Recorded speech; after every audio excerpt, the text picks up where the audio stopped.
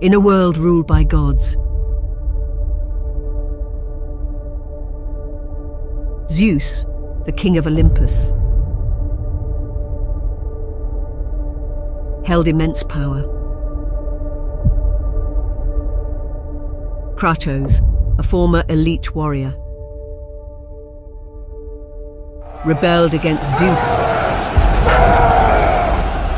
due to his unfair actions.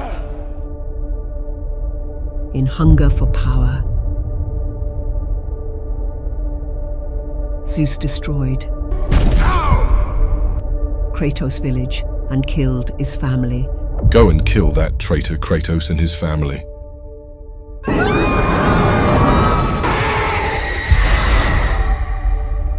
In his grief, Kratos discovered he had hidden godly powers and set out for revenge.